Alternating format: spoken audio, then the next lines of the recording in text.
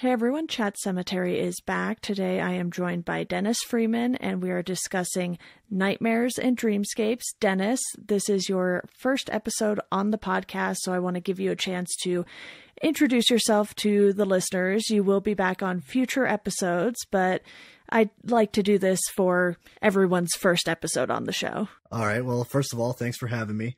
Like she said, my name is Dennis. Um, I'm a writer from Clarksville, Arkansas and I've been a huge Stephen King fan since man, I was probably 10 when my mom introduced me. So it's uh, really exciting to be on this podcast. Well, I'm very happy to have you. And Stephen King's short story collections are sometimes hit or miss. So, to start off this conversation, I just want to get a feel for your overall thoughts on the collection as a whole. Was it too long? Do you typically enjoy his short story collections? Well, when it comes to the short story, it's my favorite medium. Again, that was one of my big introductions to Stephen King was his uh, was his short stories.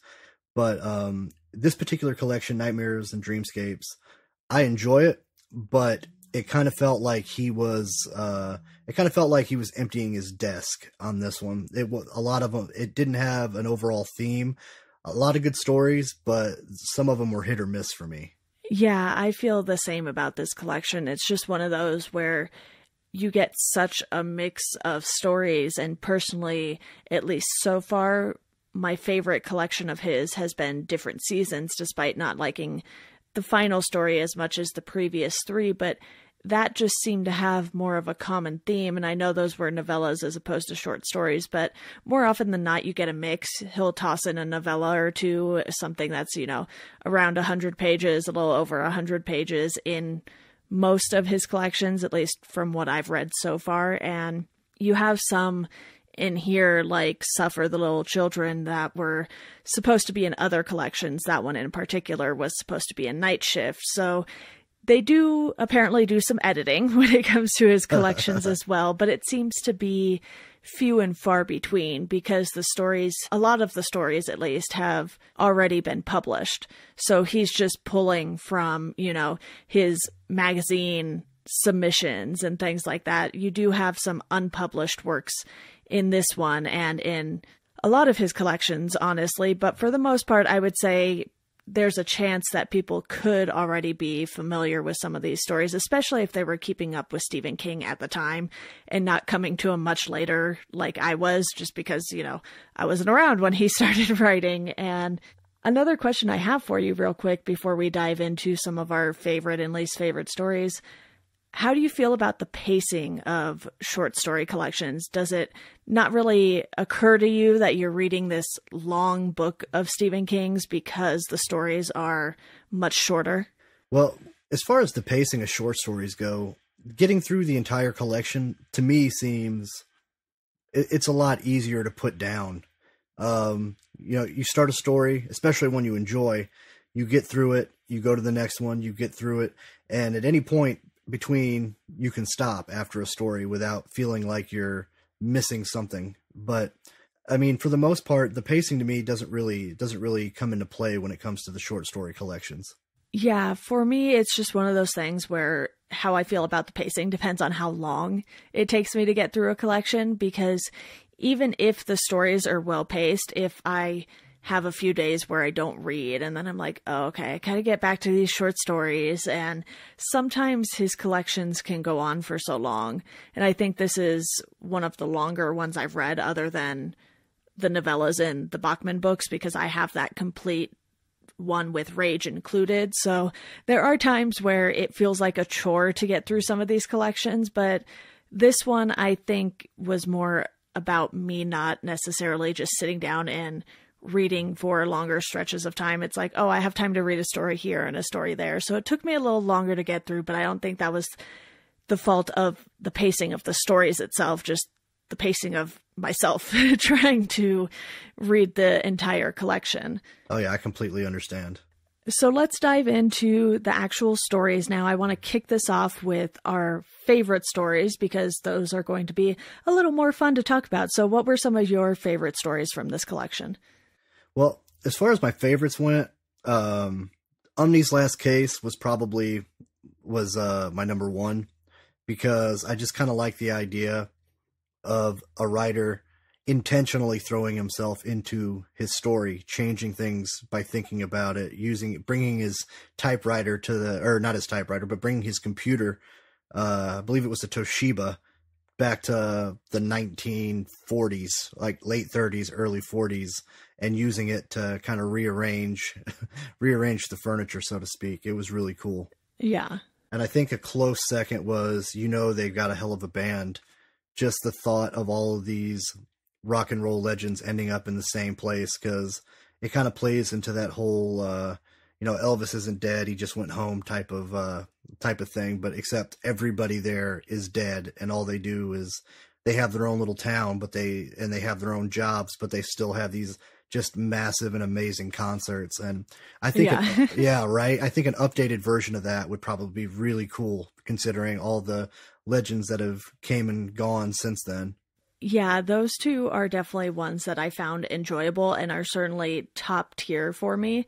And I know you have another one to discuss, but just quick notes on these two. I did enjoy, you know, the kind of detective story of Umney's last case, the private dick feel to it. And then, you know, they got a hell of a band was just so fun. It was one of those where you didn't necessarily have to have a lot of meat on the story. It was just something he was having fun with. You didn't have to dive too deep into the story to really understand what he was getting at. It was just like, you know what? Here's a fun concept. Let me run with it and see what happens. Yeah, definitely. Um, like that one, it kind of felt like he wrote that one like straight from the hip, like he didn't aim at Yeah. all. It was really cool.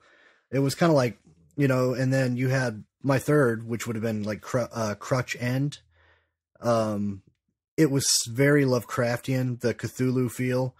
That Mhm. one, that one, that's part of the reason it was. It was very simplistic horror, and it paid homage to Lovecraft. And regardless of my opinions of him as a person, Lovecraft is arguably one of the most prolific uh, horror writers of all time. So um, it was definitely really cool to see uh, Stephen King's take on that. I have a confession to make. I have not read any Lovecraft that I am aware of. So I should probably do that at some point, given that Stephen King does seem to pull some influence from him.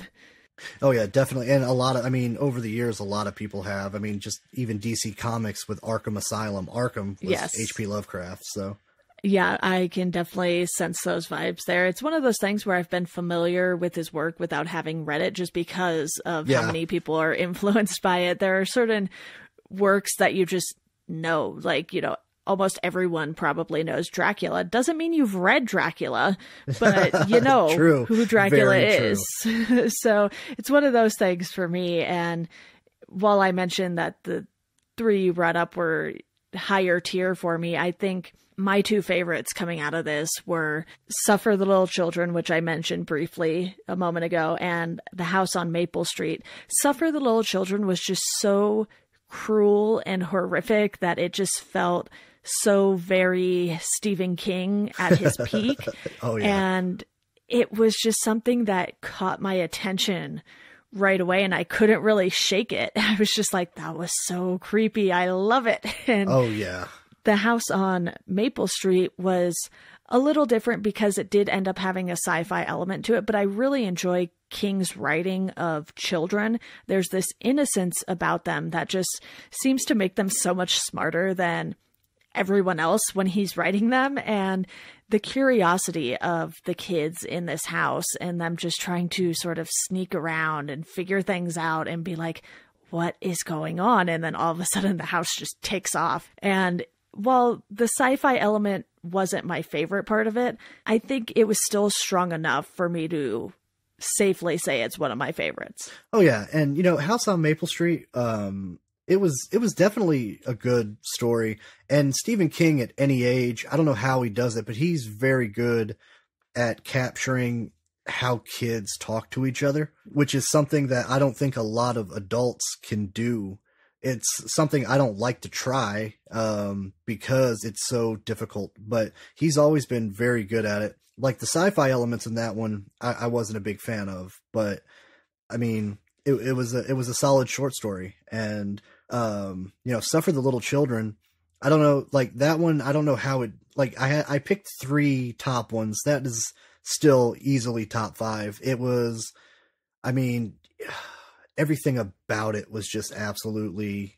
It it was crazy from the beginning, and uh, like Miss Headley is.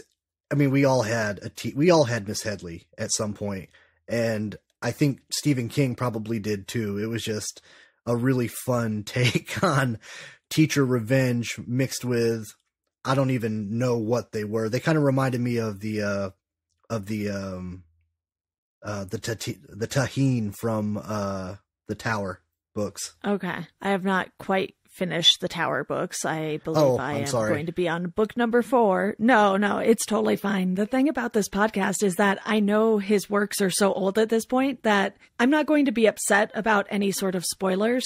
It's just one of those things where I've somehow managed to avoid them for so long, especially with the Dark Tower series, because people love that so much. I was like, I'm kind of impressed that it hasn't been spoiled for me. So I have no idea what you're talking about. So to me, that's not a spoiler, but you know, I know what you mean by saying that Suffer the, the Little Children is sort of this teacher revenge story that I think a lot of people will connect with in one way or another. And, you know, these are obviously our top tier ones. And I will say, if you're a Sherlock fan, you will definitely want to check out the doctor's case, at least, because that is his Holmes and Watson story, which Oh yeah. it, it was fun, but it was one of those things where you know he's not working with his own IP basically, so it's not as exciting for me. It's just like, oh yeah, he went and did a Sherlock story. That's cool. Yeah. And oh wow, public domain. it's definitely not the worst thing in here. Definitely. Oh no, it's definitely not bad. It was just like anytime I see, I don't know, anytime I see, especially established, uh, established writers work with like old, um, you know, public domain stuff. I just, uh, it's touch and go for me. Even like, you know, you could, you could write a pretty, th- they did some epic, you know, work with things like Grimm fairy tales over the years, but I'm Yeah. just not, that's just not my thing. Right. Well, I think it's time to move on to some of our least favorites. Oh, the no. main one we share in common, which is Head Down, his essays about Owen's Little League baseball team, yeah. which make absolutely no sense to put into a Stephen King collection of fictional stories.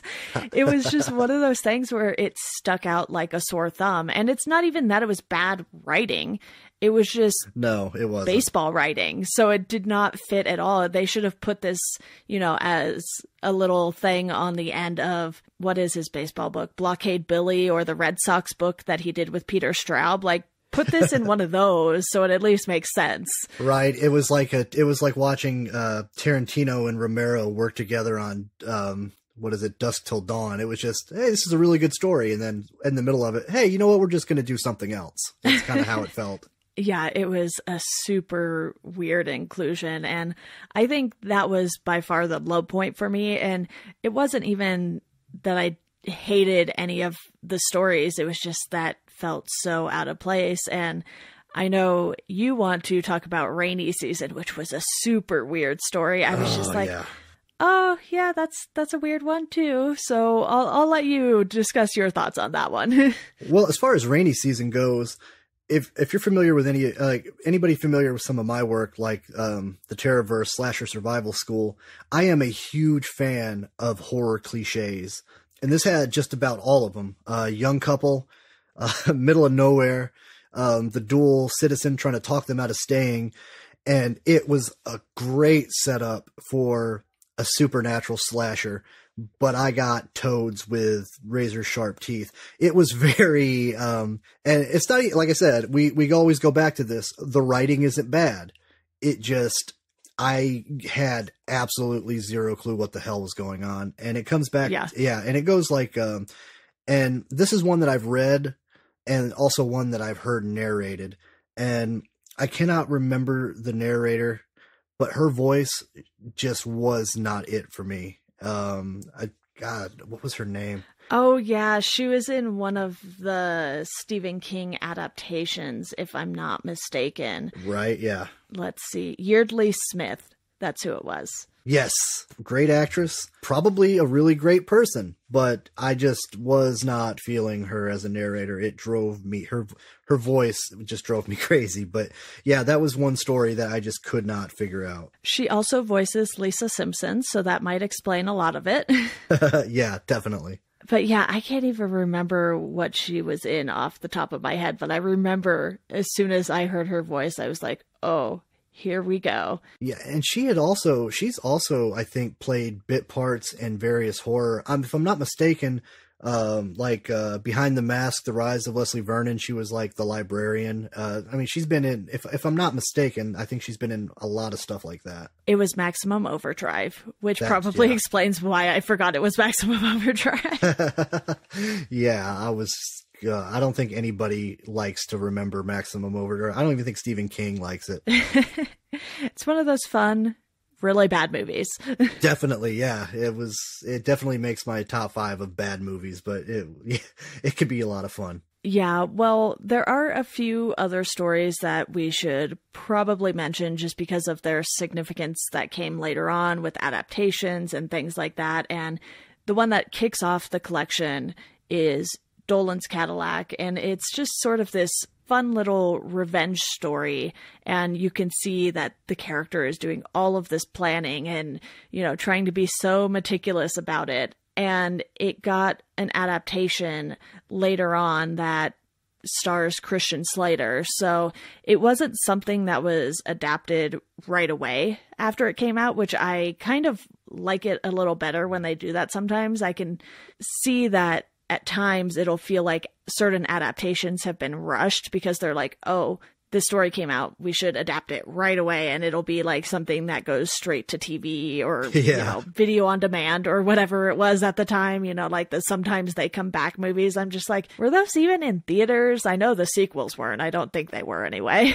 Right. Yeah. And as far as Dolan's Cadillac goes, it is honestly not one of my favorite stories. I think mostly because it just lacks that horror supernatural aspect. As for as for like taking it for what it is, it's a great story. It's just not what I wanted in a Stephen King, um, you know, short stories. But it's definitely, I mean, we can't argue that you know that it's anything but great, but it's still just not for me. Yeah, and this collection came out in 93. That story was originally published in Castle Rock magazine in 1985, and the adaptation didn't come out until 2009. So that is a lot more recent in the eyes of Stephen King adaptations, anyway. So it was something that people left alone for a little while, unlike The Night Flyer, which got an adaptation that I have yet to watch, but it was a 1997 film. So it's coming up here pretty soon at some point this right. year. But I think that's one that might not be as high of quality. And I think it's just one of those things where people eat up the Stephen King stories so much that they're willing to make any adaptation of them, especially in the 80s and 90s, I think more so than now. Now it seems like they're kind of thinking it through a little more and being like, okay, what one should we do again? Like the Stand miniseries that'll be on CBS All Access in the future, and you know the It movies, which I know some people don't like Chapter Two as much as the first one, and that's fine. But there's just a lot more you can do with the movies now oh, yeah. than you could in the 80s and 90s. Yeah, and that, I don't really under like I don't really understand the hate that got, but yeah, I, I totally I totally agree. Like especially, I wish Stephen King would have been more choosy when it came to some of his adaptations and who directed them and and how they were introduced to the public. But I mean, it's been 30 years now. It's whatever. he's he's going to do what he does. Yeah, he is making all the money probably. so he's just like, yeah, go for it. And I know it's never really been about the money for him if anyone has ever read his book on writing or knows his history in general, he did struggle a lot. So writing was his escape and he threw Carrie in the trash until his wife plucked it out and was like, no, you're going to finish this. It's going to be good. And so that we have Carrie now because of Tabitha King. Yeah, definitely. We have a huge bibliography thanks to Tabitha King in that moment. Yeah. exactly. And I am here for all of the Stephen King content, good or bad.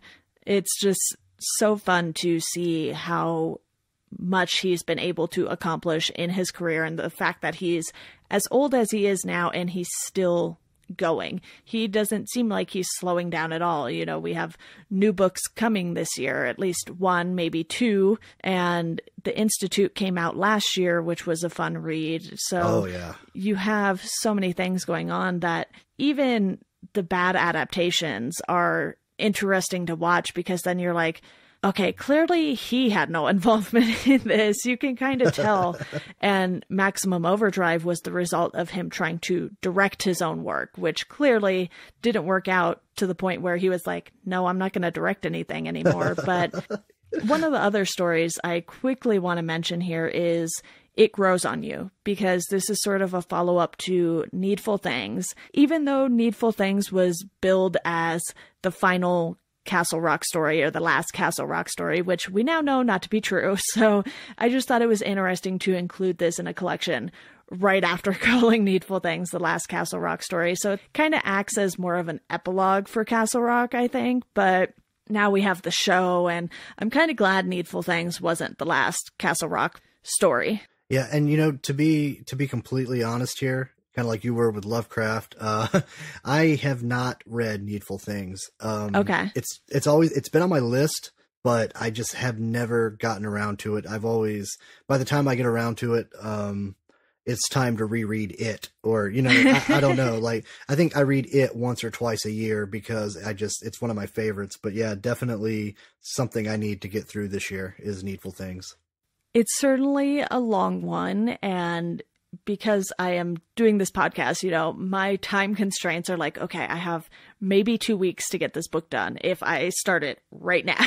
and so putting myself on that deadline has made it a little difficult to retain everything. But I think as I go, I'm making these connections that I otherwise wouldn't necessarily have made if I had spaced out everything in a much longer time frame you know? It's one of those things where i think people can enjoy stephen king without feeling the need to make all of these connections but it's something that i've found has been fun to do with the podcast because then you know maybe myself and my guests are helping people realize things that maybe wouldn't have clicked with them if they didn't read or watch these things back to back to back Yeah, definitely. And that that's kind of, you know, that like you are apparently a saint because I would have burned out so long ago trying to do, especially some of the some of the stuff uh you know, when you added the TV shows and the miniseries and all that, like I I don't think I could have done it. That is you have amazing patience. That would drive me crazy trying to get through some of that.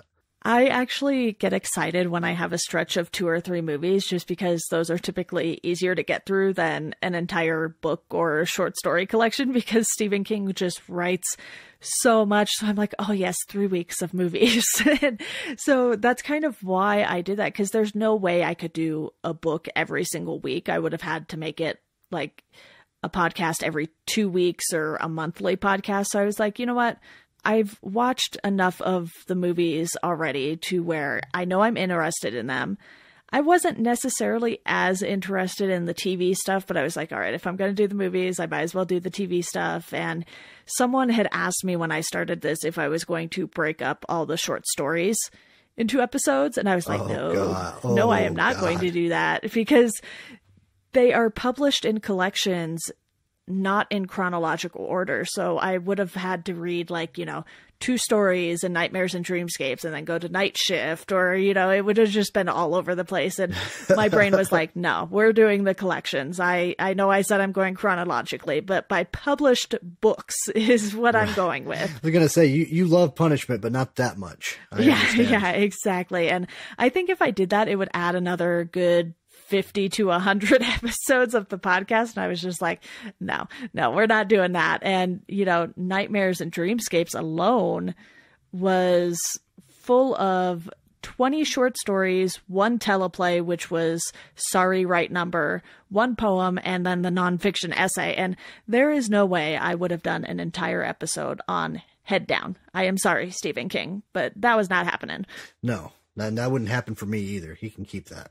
And something like the Brooklyn August poem that came right after and kind of paired with Head Down because it was about baseball. It's like I'm not going to do a whole episode on a poem. That's that's a bit much. That would be like a 5-minute episode. right. Yeah. That that was an odd inclusion in that too.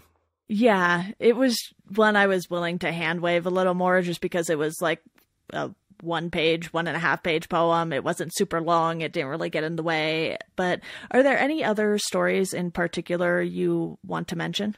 Not right offhand, no. Um, like I was saying, like, you know, the, the, the top five were definitely, uh, oh, well, actually one, uh, what was it called? The finger, um, the moving finger, I believe is what it was called. Yes. The moving finger. Yeah. It was so insane. Uh, and it wasn't even that it was a, uh, you know, for me, it wasn't about just good or bad story. I really enjoyed the inclusion of it, uh, strictly because it was so odd. I'm trying to remember where I think it had originally published in, um, magazine of fantasy and science fiction. Yes, in 1990. It was 1990. Okay, but yeah, it was for me. It was just so fun, um, asinine, and just still sc- and to me it was scary because the whole concept of just this haunted finger was I, I, I don't even know how to explain it but yeah that one is an honorable mention for me because it was just so fun. Uh popsy was pretty good. And i think the 10 o'clock people yes. yeah i mean it was like out of nowhere. It's like you know he has this way of drawing you in with something that you don't think is all that interesting he makes it interesting and then says to hell with it we're making a monster movie. So it was it was really exciting for me that that one in particular. Yeah and the teleplay sorry right number ended up appearing in the fourth season of tales from the dark side. So that one was adapted as well but more in the anthology series which i think is a pretty good way to go if you're going to do some of king's short stories. There are plenty of them to choose from that either haven't been adapted or did not get good adaptations. Yeah. And it's one of those things where I think you could do something with just, you know, Stephen King stories, Joe Hill stories, which they did with the new Creepshow on Shudder, and I enjoyed a lot of those episodes. So it's nice to see that they aren't afraid to also just be like, you know what? This is a 30 page story, 20 page story, whatever. We're not going to try and make it into a feature length film. So to see that happening so early on in his career with things like Creepshow and Tales from the Dark Side, and the fact that they're still continuing that, I think is really nice to see. Yeah, definitely. And you know, as far like with the short stories, I love seeing adaptations. I just wish I saw more good ones. Like even if like uh um, there was a just a little off topic, but the uh there was this night shift uh story called Quitters Inc. Yes. About a guy, yeah, that one I wanted to see something. I want to see something up to date on that. That would just be the whole thought behind that, especially now with uh, where we are with uh, smoking and vaping and everything. I just think it would be a really fun story to see. Yeah, there are certain ones that would benefit from updates, to say the least. And I know that there was the Nightmares and Dreamscape show that was an anthology of some of these stories. I haven't watched that yet. Is that something you have seen? I've seen uh, bits and pieces. I think it was. I don't remember what year that even came out, but I was either really young and didn't have control, or. but no, I I don't remember um, very much of the Nightmares and Dreamscapes. Um, actual series. Yeah, it was done in 2005. So a little Oh, yeah. more recent, quite a while after the collection came out. I actually just bought it, but obviously with me going in chronological order, it'll be a minute before I get to it. But Dennis, I think that wraps things up with Nightmares and Dreamscapes. Thank you so much for coming on to discuss it. Not a problem. Thank you for having me. Of course, do you want to plug your socials, website, anything real quick? Oh God, I love to plug my social media. you guys can find me. Uh, my name is Dennis Freeman. I'm an author, and my Instagram and Twitter handle is the Terrorverse, and I'm on Facebook, uh, Facebook.com slash Dennis Freeman author. So hopefully, I'll see you guys again real soon. Great. And before we go, you can support this podcast on Patreon for a dollar a month. You just show your general support. You'll get a thank you on the show. For $2 a month, you can get yourself a Chat Sematary sticker. They're limited right now. So if you want one, definitely sign up on Patreon. You can find us at Chat Sematary on Twitter, Instagram, and Facebook. And as always, thank you all for listening, and we hope you enjoy the rest of your day.